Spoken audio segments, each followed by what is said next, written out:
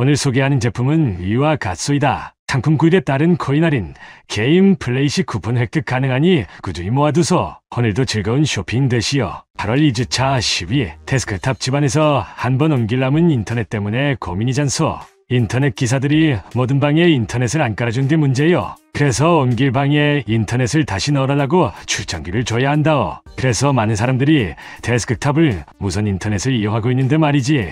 저렴한 USB 타입의 무선랜 카드는 속도 면에선 아직 한계가 있어. 이것만 기억하소. 무선랜 카드 칩셋은 무조건 인텔 AX210 칩셋을 구입해야 하오. 미디어텍 같은 건 사지 않길 바라는 마음이요. 소개하는 제품은 와이파이 6를 지원하는 인텔 AX210 칩셋이 들어가 있어. 여기에 블루투스 5.3은 덤으로 서비스로 함께 제공한다오. 데스크탑 대부분이 블루투스가 없잖소. 이놈 하나면 빠른 무선 인터넷도 가능하고 블루투스 5.3도 쓸 수 있어. 왜 국내에서 안 사냐고? 비싸잖소. 상품 잘 보시오. 한 개가 미디어텍 들어가 있는 제품이 미끼 상품으로 있다오. 미디어텍 제품만 피해서 세계 상품 중 어떤 것을 사도 괜찮소. 8월 2주차 9위. 요즘은 현기차 순정 내비게이션 이용자와 모바일 내비 이용자가 반반이요. 탭이나 카카오 내비에 실시간 반영되는 게 편해서이겠지.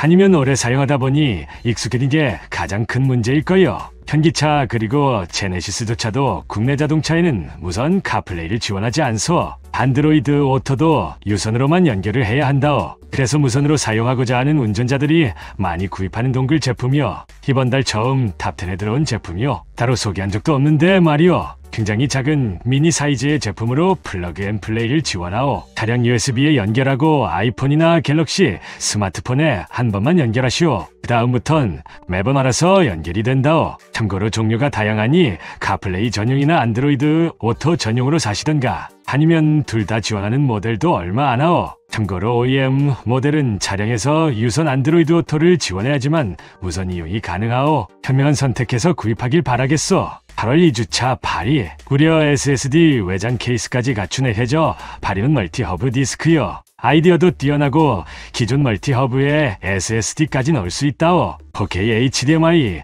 10기가 전송 속도, PD 100W 충전도 지원하고 있어. TF카드와 SD카드들도 함께 제공을 한다오. multi hub에서 갖추고 있는 확장 포트 모두 제공하면서 SSD 외장 케이스 멋지지 않소? 다만 SSD 특유의 발열이 걱정되는데 말이오. 상품 스펙을 보니 최대 75도까지 발열을 안정적으로 견뎌준다고 하오. 이거 하나만 있으면 노트북 액세서리 하나로 끝이오. NVMe M2, SATA 모두 지원하고 있어. SSD 종류를 딱히 가리지 않는 것은 좋소이다. 인전 금액인데도 이미 저렴하게 판매하고 있어 바로 구입해도 괜찮소. 외장 하드 케이스만큼 가격이 내려왔으니 구입들 하시오. SSD 외장 케이스에 각종 포트가 들어가 있다고 생각하면 혜자 상품이요. 8월 2주차 7위. 딱 가격만큼 하는 물건이 인기 판매치를 차지했소이다. 무카이 15.6인치 휴대용 모니터가 차지했어. FHD 해상도를 지원하고 258기를 보여주어 NTSC 45%, 60Hz 주사율, 내장 스피커, 미니 HDMI 타입C, 오디오 단자 채용했어. 이 제품 말 그대로 저렴한 가격 때문에 구입하는 제품이요. 색재현력이 45%밖에 되지 않기에 색 표현력이 많이 떨어지는 편이요. 색 작업이 필요한 환경이나 우수한 색감을 원한다면 구입하지 마시오. 대신 가격은 많이 비싸질 거요. 다른 포터블 모니터 치곤 저렴한 가격은 다 이유가 있어. 1920, 1080 해상도의 적당한 서브 모니터로는 나쁘지 않소이다. 또한 콘솔 게임들도 연결해서 단독 사용이 가능한 장점도 있겠고 데스크탑과 듀얼 모니터로 특정 업무용으로도 활용도가 좋소. 저렴하고 완벽한 제품은 없어. 그러니 가격을 선택할 거냐, 색감을 선택할 거냐 하나는 하시오. 가격을 선택한다면 경쟁 제품 대비 괜찮은 선택일 수 있겠어. 8월 2주차 6위. 너무 자주 많이 출시를 하니 다소 식상하기도 한 제품이요. Baseus에서 출시한 G1 PD 충전 스테이션 제품인데 이 제품은 비슷한 디자인 제품과 달리 성능을 맞바꾼 제품이요. 무슨 말이냐? PD 충전이 최대 35W밖에 제공하지 않고 AC 콘센트 출력을 4000W로 제공하오. 기존 모델은 PD 100W 지원하고 AC 출력이 1600W 정도로 낮았어. 결국 뭐냐? 책상에서 스마트폰과 태블릿 충전 정도에는 PD 35W도 충분한데 AC 콘센트를 통해 더 많은 충전기기를 사용하는 용도란 말이오. AC 콘센트 3개, USB-C 2개, USB-A 2개 포트를 제공하고 있어. 확장 포트면에선 나쁘지 않은 수준이요. AC 콘센트를 이용해야 하는 제품이 많은 사람들에겐 좋은 제품이요. 책상 위에 멀티탭 대신 이거 하나는 올려두고 사용하면 되니깐 뭐 덕분에 가격도 저렴해지니 구입자 입장에서도 나쁘진 않구려. 8월 2주차 5위. 그게 구입을 해서 잘 사용하고 있는 제품이요. 두목 받침대 네이버에도 널렸는데 알리에서 살 필요 있을까 하는 분들도 계시겠지만은 국내엔 이 가격에 이런 수납 제품이 없어. 가격도 괜찮고 합성 가죽 재질도 나쁘지 않고 무엇보다 수납 공간을 제공해서 각종 액세서리 넣어두기 편하오. 세상에 굴러다닌 것들 다 넣어보소. 얼마나 깔끔해지고 좋은데 메모리 카드부터 터치펜, 볼펜, USB 등등등등 공간이 넓지는 않으나 자주 쓰는 것들 작아서 잃어버리기 쉬운 것들 모두 넣어서 보관해 보시오. 책상도 깔끔해지고 분실의 위험도 적소. tenkeyless 키보드 정도에 어울리는 사이즈를 보여주어. 풀사이즈 키보드엔 다소 작을 수 있어. 물론 사용하는 데엔 큰 불편함은 없고 가성비가 괜찮은 손목 받침대 제품이요. 8월 2주차 4위 큐브 형태 디자인의 멀티 플러그 소켓이요. on off 스위치 달려있어 사용하지 않을 땐 꺼두시고 작은 크기지만 확장성은 엄청나게 좋은 제품이요. AC 콘센트 3개, USB 충전 포트 3개, USB-C 1개를 제공한다오. AC 최대 4000W 지원하고 USB는 12W와 15W로 작동하오. 벽 콘센트에 부착해서 사용하기 좋은 사이즈를 보여주고 국내 2구 3구 멀티탭과 달리 콘센트 머리 충돌할 일도 없어 좌우 상단에 AC 콘센트가 위치해서 서로 간섭을 하지 않는다오 투면엔 전원 버튼과 4개의 USB 포트를 제공해 위치도 좋소이다 서로 콘센트 머리로 인한 간섭이 없는 게 가장 좋소 크기가 작아 여행용으로 하나씩 가지고 다니기에도 나쁘지 않고 밖에서 사용하기에도 괜찮고 디자인 작아 휴대성도 좋고 가격도 저렴해서 좋고 무료 직배송이라 좋고 FCC, CE, RoHS 인증이라 좋고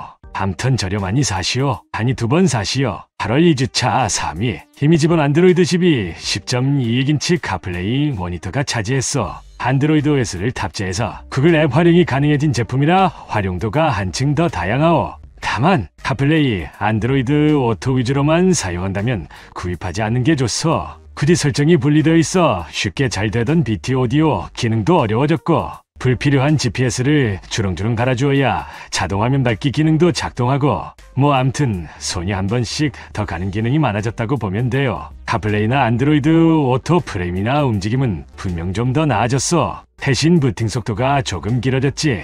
신제품이니 더 좋아진 기능들이 있긴 하지만 구글앱 활용을 하는 분들에겐 카플레이와 구글 스토어 활용이 좋겠지만 카플레이 또는 안드로이드 오토만 이용한다면 리눅스 버전을 추천하오. 판매량이 많이 나오고 있는데 가격 할인을 많이 해줘서 그렇소. 현재 할인 혜택 다 받아도 내일 모레 행사 때보다 더 저렴하오. 행사라고 해서 무조건 다 싼 게 아니고 가격 할인을 줄이거나 가격을 올려 팔기에 무조건 행사만 바라보지 말라는 것이오. 지금 가격도 충분히 가격 메리트 있는 제품이요. 득템 맛이요. 8월 2주차 2위. 역시 꾸준히 인기를 얻고 있는 리눅스 기반 10.2인치가 차지했어. 가성비를 선택하는 분들이 많다는 걸 보여준 부분이요. 나 역시 이 제품과 안드로이드 12 제품을 다 가지고 있소이다. 그래서 앞서 말했듯이 카플레이, 안드로이드 오토 기능만 사용한다면 굳이 더 비싸고 설정이 늘어난 안드로이드 12 제품이 필요 없다는 것이요. 최초 부팅, BT 오디오로 간편하게 차량 스피커로 연결이 확실히 편하오. 여기에 4K 블랙박스도 더미잔소.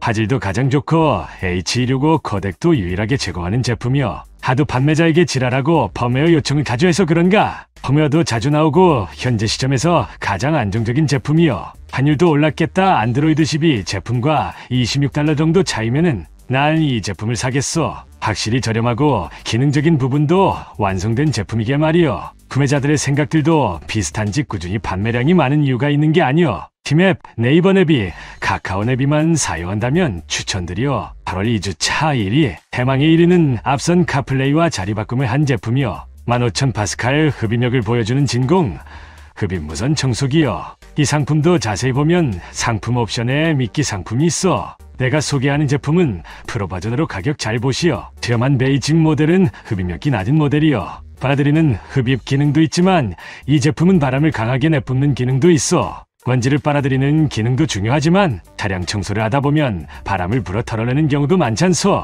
대부분 흡입만 가능한 제품들만 많았어. 이 제품은 바람을 불어내는 기능도 있고 힘도 좋아 인기가 많은 이유요. 비도 굉장히 많고 평점도 굉장히 높고 다 좋은 이유가 있지 않겠소. 일단 가성비도 나쁘지 않데다 다른 제품들이 워낙 쓰레기가 많아갖고 이 제품이 그나마 혜자 제품으로 보이는 이유도 있을 거요. 뭐 암튼 구입자들이 많은 상품이니 인기가 높구나 하고 하나씩 구입해보소. 다른 제품에 비해 후회는 크지 않을 거요. 기상 제품을 소개해렸어. 다양한 제품을 자주 소개시켜 드릴 수 있도록 구독, 좋아요 잊지 마시오.